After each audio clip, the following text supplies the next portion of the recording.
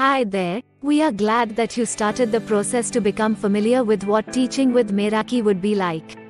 You would have created an account and chosen what you want to teach, but how does it all happen? We are here to help. We, at Meraki, run batches consisting of multiple classes for Python and spoken English courses. It's people like you who help us keep things afloat with your shared time. During the onboarding, we will request you to attend a class to get a hang of class dynamics. But, in short, once you have on board, you can create a batch that you would be teaching. Our batches are often tied to partners such as schools or NGOs for which our team will help you with all the information. The normal time commitment is about 2 hours per week for 15 weeks. The class strength usually ranges from 20 to 140 students. You will receive the curriculum on the Meraki app and presentation slides for the classes. However, you are free to introduce additional resources and your unique style of teaching during the classes.